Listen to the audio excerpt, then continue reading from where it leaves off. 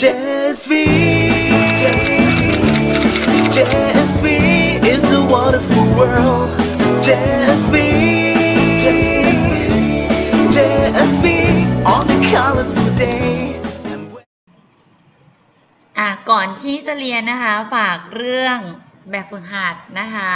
ใครยังไม่เคลียร์นะคะ ฝากเคลียร์ด้วยนะ อะทีนี้เดี๋ยวจะพาไปทบทวนในเรื่องของทรงสี่เหลี่ยมมุมฉากนะคะสำหรับวันนี้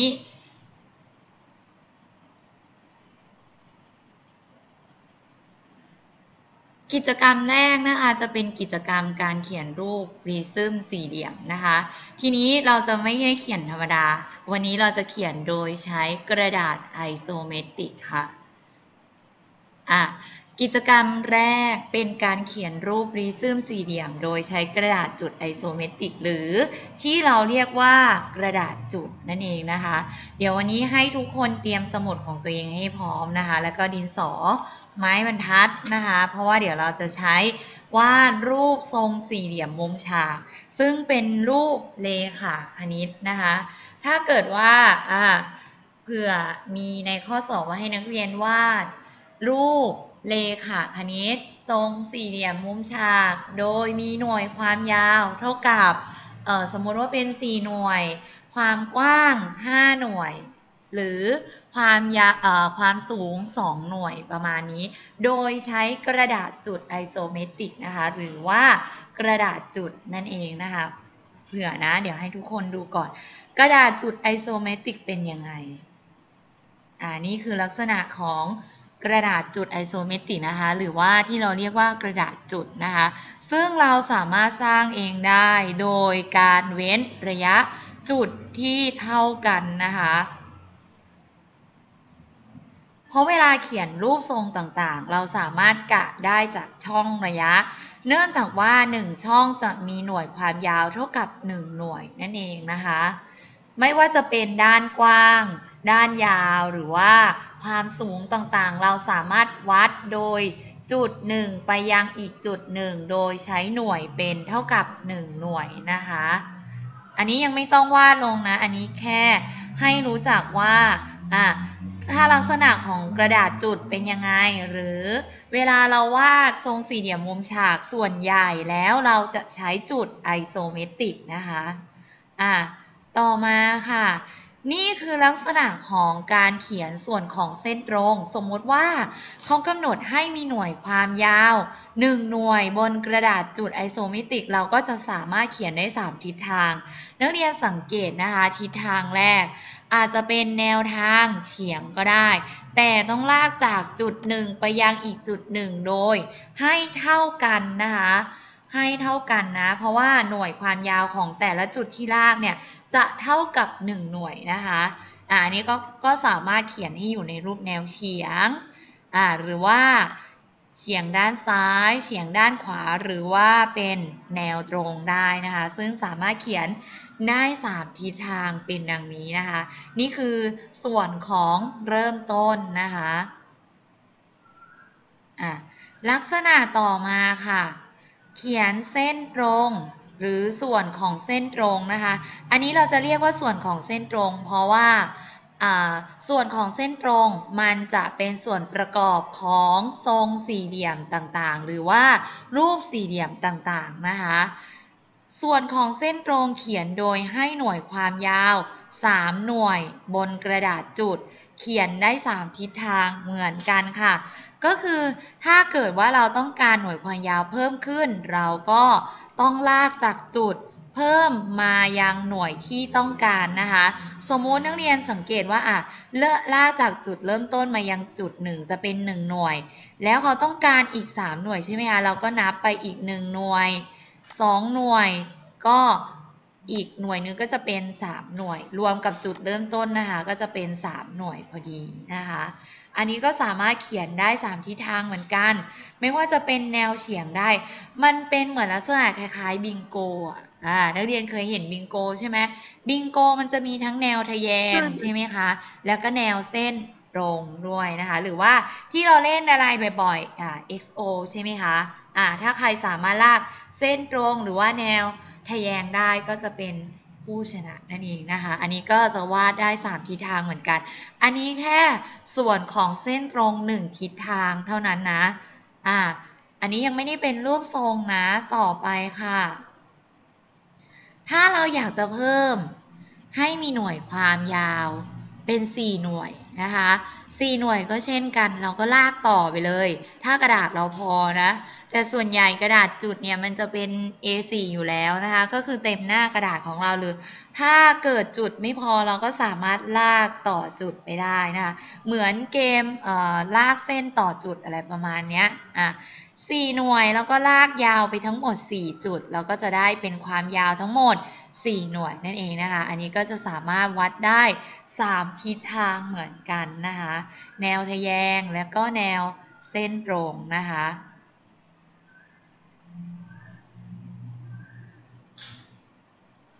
อะต่อมาเป็นการเขียนส่วนของเส้นตรงให้มีความยาว 1 หน่วย ซึ่งสามารถเขียนได้เป็น 2 ทิศทางเหมือนกันนะคะ อะ ก็จะมีแนว แนวตรงที่อยู่ทางด้านล่าง แล้วก็ตรงจากข้างบนลงข้างล่างใช่ไหมคะก็จะเป็น 2 ทิศทางไปดูอีกมีอีกทางไหนบ้าง 3 หน่วยอ่าสามหน่วยแนวตั้งกับแนวนอน หรือเราเรียกว่าแนวตั้งแนวนอนส่วนใหญ่เราจะเป็น ถ้าแนวนอนเนี่ยเราจะเป็นความยาวเนาะแล้วก็ถ้าเป็นแนวตั้งเนี่ยเราจะเป็นความสูงนะคะ อันนี้ก็จะเป็นลักษณะของการเขียนส่วนของเส้นตรง เชื่อมกับจุด 2 จุดที่ใกล้กันนะคะ เราก็จะได้เป็นรูปเลขาคณิตที่อยู่บนกระดาษจุดไอโซเมตริกนั่นเองค่ะ อันนี้น่าจะเคยได้ยินในวิชาของวิทยาการคำนวณที่จะเป็นในเรื่องของอัลกอริทึมนะคะ ส่วนของเส้นตรงนะคะจะมีความยาวเท่ากันเมื่อลากเส้นต่อจุดแล้วนะคะ นักเรียนจะเห็นว่าเราจะได้เป็นรูปสามเหลี่ยมที่มีความกว้างความยาวและความสูงเท่ากับเท่าไหร่ เท่ากับเท่าไหร่คะหนึ่งหน่วยนั่นเองเพราะเขาลากจากจุดเริ่มต้นมายังอีกจุดหนึ่งมีค่าเท่ากับ 1 หน่วย แล้วก็ลากขึ้นไปข้างบนอีก 1 หน่วยนะคะ แล้วก็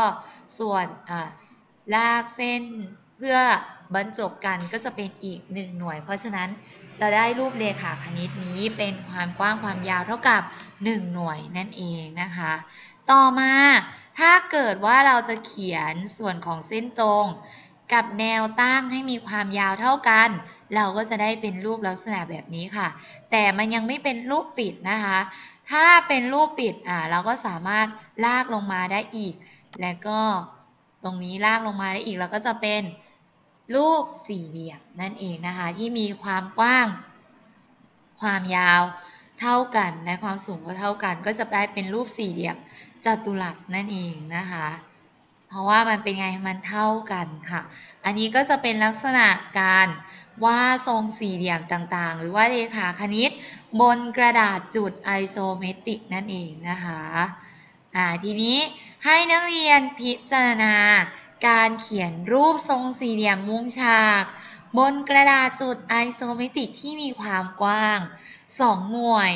ยาว 3 หน่วยสูง 2 หน่วยเป็นดังนี้ค่ะนักเรียนก็จะได้รูปเลขาคณิตเป็นไงง่ายขึ้นไหมคะถ้าเราใช้กระดาษแบบจุด เพราะว่าถ้าเราใช้กระดาษแบบจุดปุ๊บเนี่ยเราจะสามารถวัดได้เท่ากันเลยนะคะ อันแรกเราจะเริ่มจากความกว้างก่อน อะ ความกว้างที่มีหน่วยเป็น 2 หน่วยนะคะ นักเรียนก็วาดด้านหน้าของทรงสี่เหลี่ยมมุมฉาก เป็นจุดแรกมายังจุดที่ 2 อันนี้จะเท่ากับ 1 หน่วย และมายังจุดที่ 3 อันนี้เป็น 1 หน่วย รวมกันเป็น 2 หน่วย อ่าเพราะฉะนั้น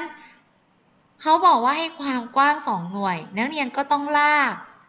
จุดเพิ่มทีละ 2 หน่วย เราก็จะได้หน้าทรงสี่เหลี่ยมมุมฉากแล้วนะคะ ความยาวค่ะ ยาวเนี่ยมันจะต้องมากกว่ากว้างอยู่แล้วนะคะอะทีนี้ความยาวเป็น 3 หน่วยนักเรียนก็ลากไปทั้งหมด 3 จุดนะคะ เราก็จะได้เป็น 3 หน่วย และลากทั้งหมดนะคะ 1 เส้น 2 เส้น 3 เส้นด้วยกันก็จะได้เป็นทรงสี่เหลี่ยมแล้วนะคะ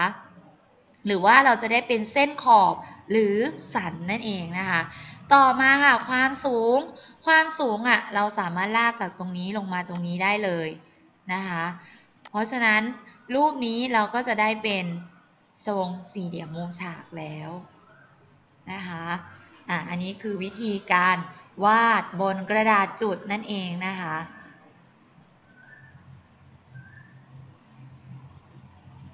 อันนี้ทบทวนค่ะ ทีนี้พอเรารู้จักกระดาษจุดแล้ว นักเรียนจะต้องวาด รูปริซึมต่างๆ เหล่านี้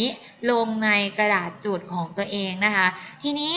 จะขอทบทวนก่อนว่าปริซึมสี่เหลี่ยมนะคะ จะมีหน้าทุกหน้าเป็นสี่เหลี่ยมมุมฉากด้านหน้าคือด้านที่ส่วนที่ระบายสีเป็นสีฟ้านะคะ ทุกคน ด้านหน้าจะมีสองหน้าด้วยกันนะคะ ทุกหน้าและทุกรูปต่างๆนะคะ จะมีด้านหน้าเนี่ยเพียงสองหน้าเท่านั้นตลอดเลยนะคะ ไม่ว่าจะเป็นปริซึมใด ๆ ก็ตามนะคะอะสี่เหลี่ยมมุมฉากเราอาจเรียกทรงเหล่านี้ว่าเป็นทรงสี่เหลี่ยมมุมฉากนั่นเอง หรือเราจะได้ลักษณะของรูปนี้นะคะอะถ้ามีหน้าเท่ากันทุกหน้า เรียกสั้นๆเลยว่าเป็นลูกบาศก์ค่ะ พอเห็นรูปลักษณะเป็นแบบนี้ปุ๊บนักเรียนก็บอกได้เลยว่าเป็นลักษณะของลูกบาศก์แล้วเรียกสั้นๆเลย ไม่ต้องตอบว่าทรงสี่เหลี่ยมมุมฉากอะไรใด ๆ ทั้งสิ้นนะคะก็ตอบว่าเป็นลูกบาศก์ไปได้เลยนะคะถ้าเป็นสี่เหลี่ยมจัตุรัสนะนอกจากว่าเป็นสี่เหลี่ยมผืนผ้าอ่าแต่ว่าทรงสี่เหลี่ยมมุมฉากเนี่ยมันก็สามารถแบ่งออกได้เป็น จัตุรัสแล้วก็ผืนผ้า เพราะฉะนั้นให้นักเรียนจำไว้เลยว่า ถ้าเขาบอกว่าสี่เหลี่ยมมุมฉากปุ๊บนักเรียนจะต้องนึกถึงผืนผ้า และจัตุรัสทันที เพราะมีสองรูปนี้ที่เป็นมุมฉากเท่านั้นนะคะอะกิจกรรมถึงกิจกรรมของนักเรียนแล้ว ให้นักเรียนนะคะ ลองเขียนรูปสี่เหลี่ยมมุมฉาก ต่อไปนี้ โดยมีความกว้าง 4 หน่วย ยาว 5 หน่วย และสูง 3 หน่วยบนกระดาษจุดไอโซเมตริกของตัวเองนะคะ วิธีทำเดี๋ยวจะให้นักเรียนนะคะ สร้างจุดของตัวเองก่อน อ่าทีนี้หยิบสมุดขึ้นมาแล้วใช่ไหมคะ เราจะสร้างจุดของตัวเอง อ่าอันนี้เฉลยไปแล้วอะให้นักเรียนลากจุดของตัวเองนะคะ ให้เป็นไปตามรูปนี้ก่อน โดยเว้นหนึ่งบรรทัดก็ได้อะให้เขียนให้เขียนเป็นในรูปที่สองรูปนี้นะคะ นับจุดโดยการเว้นบรรทัดเอาอ่าสมมติว่าอันนี้เป็นบรรทัดของนักเรียนเนาะอ่าบรรทัด ซึ่งบรรทัดของเราอะมันจะมีความยาวเป็นหนึ่งหน่วยอยู่แล้ว เราก็ใช้จุดหนึ่งจุด ลากลงมายังจุดที่สองนะคะ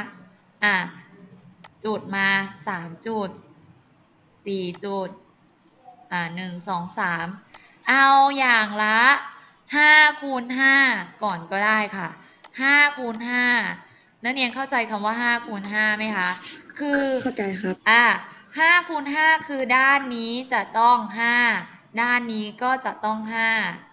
หมายถึงด้านนี้ห้าจุด ด้านยาวก็ห้าจุด อ่าลากลงมาก่อนด้านยาละด้านาวห้ายจุดเว้นยังไงอะ ด้านยาวลงมาบรรทัดหนึ่งมันมีสี่สามสี่หรือเปล่า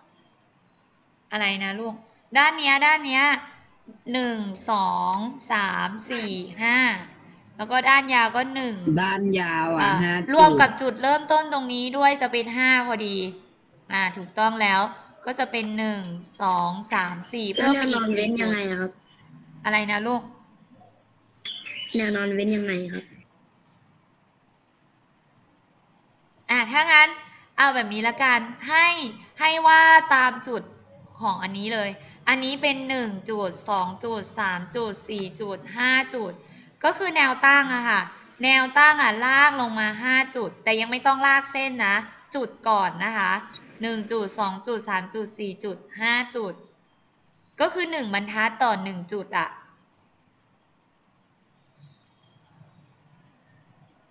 ต่อไปด้านยาว ด้านยาวเราจะเพิ่ม โดยไม่รวมจุดแรก ไม่รวมจุดแรกนะ เพิ่มไปอีก 1 2 3 4ห้าหกจุดค่ะ ซึ่งหน่วยความยาวนี้จะต้องเท่ากันกับบรรทัดข้างบนนะ สมมุติบรรทัดข้างบน 0.5 ข้างล่างก็ต้องเป็น 0.5 ส่วนใหญ่สมุดนักเรียนอะ มันจะประมาณเท่าไหร่อะ กี่เซนน่ะ0.5ปะ ซันซานลองวัดให้หน่อยดิ บรรทัดอะมีความกว้างเท่าไหร่ หนึ่งบรรทัดอะศูนย์จุดเอ่มเก้าครับงั้นเอาเป็นหนึ่งแล้วกัน หนึ่งไปเลย เอาเป็นหนึ่งเซนไปเลย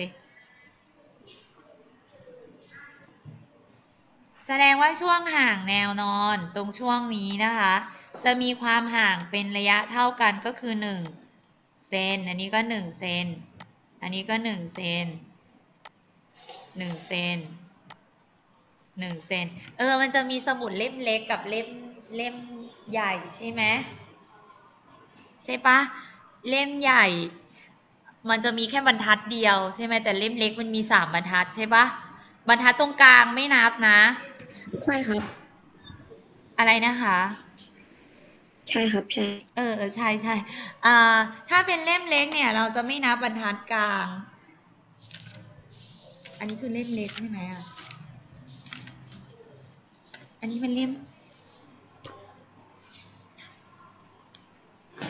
อันนี้มันเล่มเล็กหรือเล่มหนาวะอันนี้เล่มหนาปะ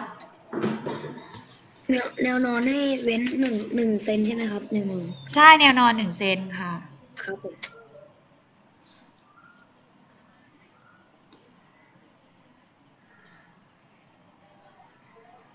ขอขอดูตัวอย่างด้วยนะ ใครวาดเสร็จแล้ว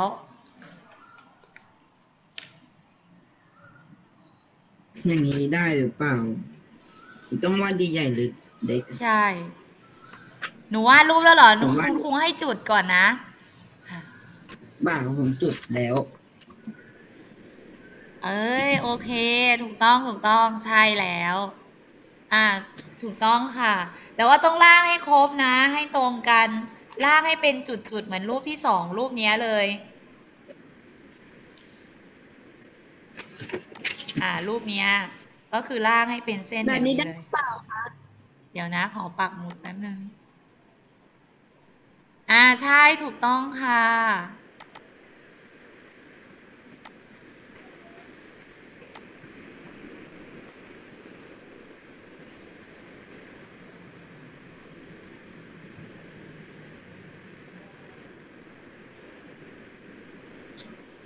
อ่าเมื่อลากกระดาษจุดเสร็จแล้วนะคะ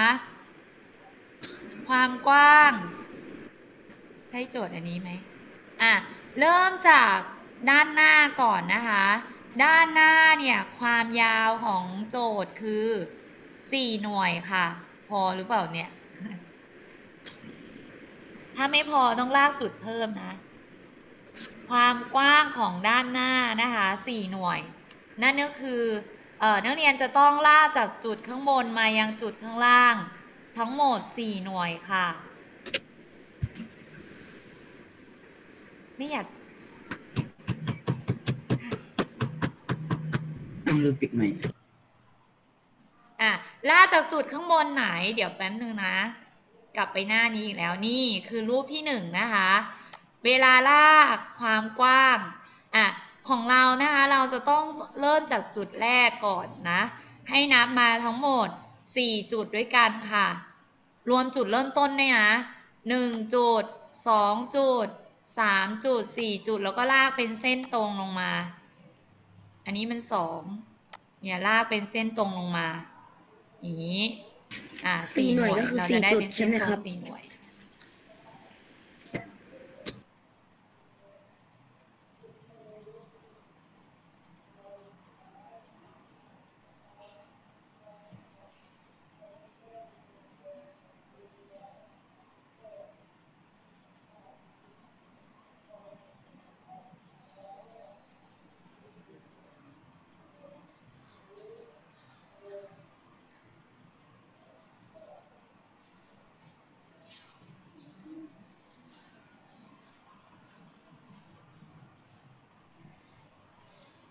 ผมว่าจุดเสร็จแล้วครับแบบนี้ อะไรนะหนู อ่าวาดจุดเสร็จแล้วนะคะ ให้ลากความกว้างของเราลงมาสี่หน่วยค่ะ กว้างสี่ยาวสี่เอ้ยพูดผิด เอ่อด้านหน้านะคะจะเป็นสี่ทั้งหมดเลย ความกว้างคือสี่หน่วยจากโจทย์นะ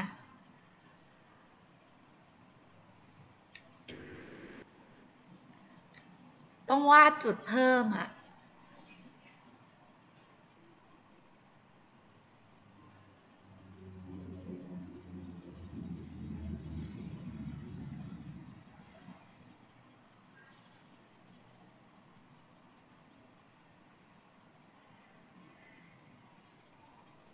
จุดมันไม่เกือบไม่พอ ฮะ จุดมันเกือบไม่พอ ถ้าไม่พอหนูต้องทำจุดเพิ่มนะ อ่าสี่หน่วยแล้วใช่ป่ะ ต่อไป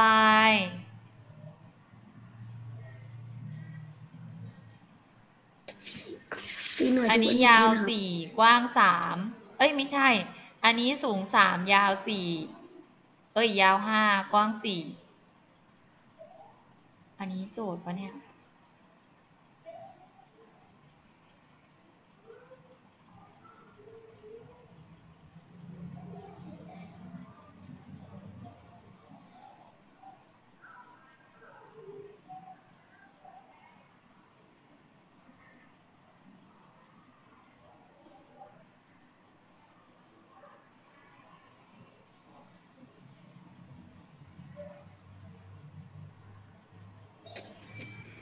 เมื่อว่าดแลักษณะมันจะเป็นเหมือนรูปสองรูปนี้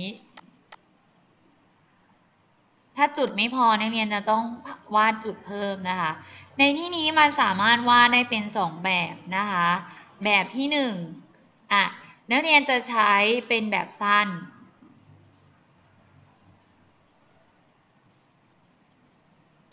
ขอดูโจทย์ข้อหนึ่งนะโจทย์ข้อหนึ่งยาว ห้าหน่วย สูงสามหน่วย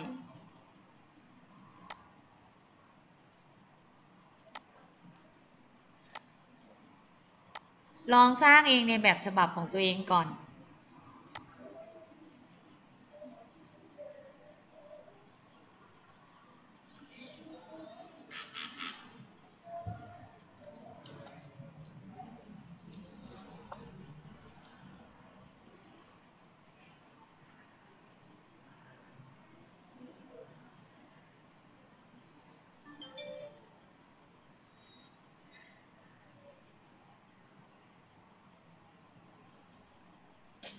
จุดมันไม่พอครับอะไรนะหนู จุดมันไม่พอครับเสร็จแล้วเหรอ ลองว่าแล้วจุดมันไม่พอ จุดไม่พอก็ลาก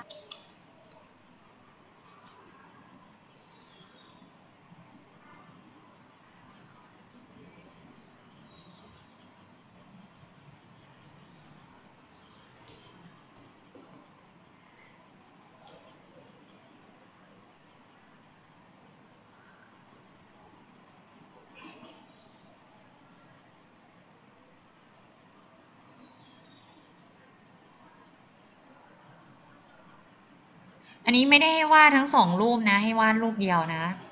อ่าต่อมาทีนี้นะคะ โอ้ย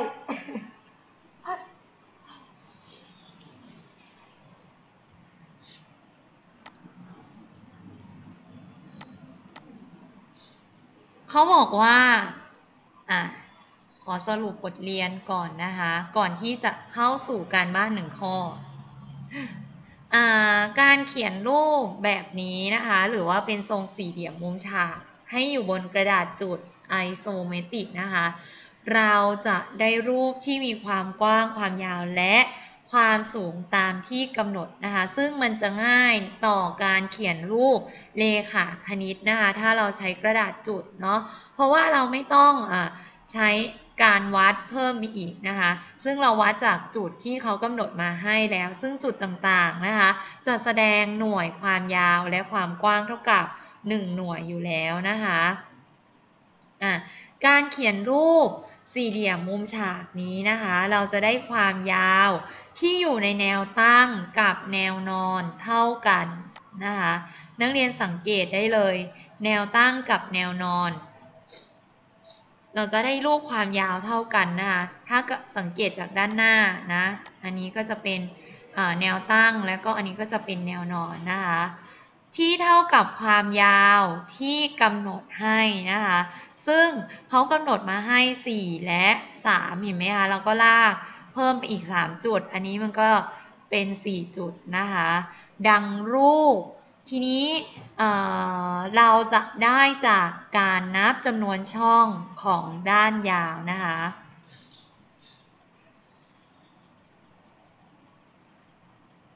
โอเค น่าจะเสร็จแล้วมั้ง ขอดูรูปของก้าวหน่อยนี้ได้เปล่า ข้อหนึ่งเสร็จแล้วครับผมอ่า ข้อหนึ่งเสร็จแล้วอะไรนะคะนะครับ โอ้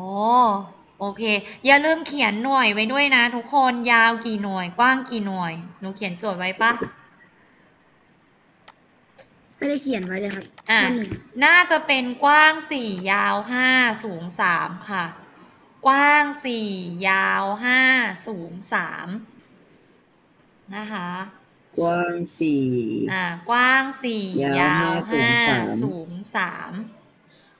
โอเคครับ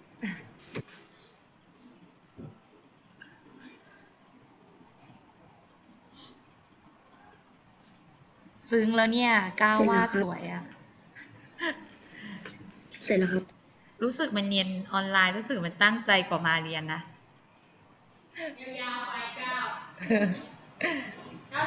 จะมีแม่ครูที่ที่ออนไลน์อะเงียบกริบนะ พอพูดถึงแบบฝึกหัดเงียบกริบนะแล้วเราดึงสายออกมานะเมื่อกี้สัญญาณ อ่าต่อไปนะคะ เมื่อเสร็จแล้ว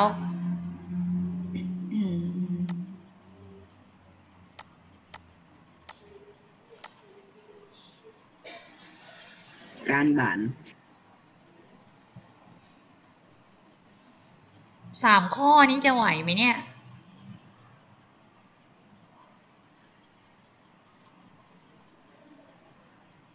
เฟิร์นยิ้มแล้วอะ เฟิร์นยิ้มหรือร้องไห้ มี A4 เปล่า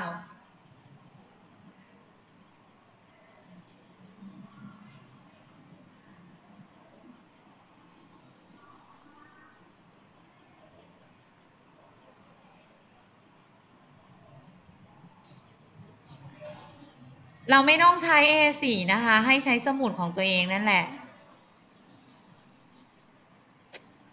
สองข้อก็ได้นะครับพอเดียวก็พอแล้วมั้งครับสองข้อ ข้อเดียวก็พอแล้วค่ะบวกหนึ่งครับบวกหนึ่งบวกหนึ่อ่างบวกหนึ่งข้อเดียวก็ได้อ่าข้อเดียวกดหนึ่งกับกดหนึ่งอะให้เขียนรูปสามลูกข้อบาสาศมก็นะคะทำเองที่นะ มีความกว้างความยาวและความสูงก็คือห้าหน่วยนะคะ เขียนบนกระดาษจดนะ แต่ว่า A4 ไม่ต้องนะคะ ก็คือใส่ในสมุดของนักเรียนมาเขียนโจทย์ด้วยไหมครับอ๋อรู้แล้วรู้แล้วกดหนึ่งรัวๆห้าหน่วยเหมือนเลยใช่ใช่ไหมครูไม่ใช่ไงห้าหน่วยมันเลยโอ้โหโอเค โอเค งั้นอีก10นาทีใช่ไหมคะ ก็ฝากข้อ1ไว้แล้วกันเนาะ วิธีทำก็คือ นักเรียนก็ต้องเริ่มจากลากจุดก่อนนะคะ โดยแบ่งจุดต่างๆ ให้เท่าๆกัน เพื่อให้ เอ่อเขาเรียกว่าอะไร ให้ให้เต็มเต็มกระดาษ เต็มแผ่นก่อน ให้มีเป็นรูปสี่เหลี่ยมแล้วกัน อ่า ให้ให้ลากจุดก่อนเลยอันดับครูแรครับกทุกอย่างผมโอเคหมดนะแต่ผมขี้เกียจวาดจุดอะอะไรนะ ก็ไม่ต้องวาดไงจุดวาดโคตรนานทุกอย่างง่ายหมดยกเว้นจุดใช่ไหมใช่ครับ ใช่ครับเออเมื่อกี้ที่ผมมันไม่มีอะไรได้ผมาไม่ง่ายวาดอันนั้นๆยามักนต้องเลยนะยากหมดวาดจุดยาก อ่าโอเค งั้นฝากข้อหนึ่งไว้แล้วกันเนาะข้อสองข้อสามไม่ต้องนะคะ อีกสิบนาทีอะลงมือทำได้เลย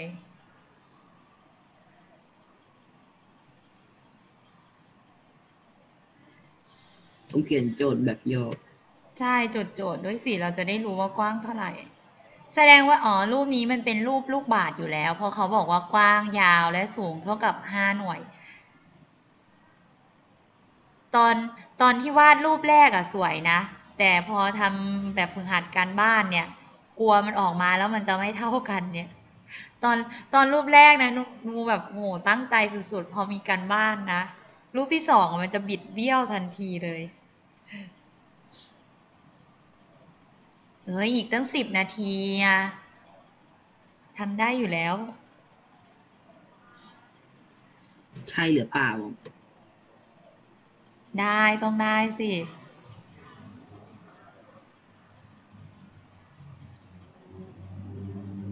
โอเคนะคะ เดี๋ยวถ้าไม่เสร็จยังไงรบกวนทุกคนนะคะ ฝากเป็นการบ้านเนาะ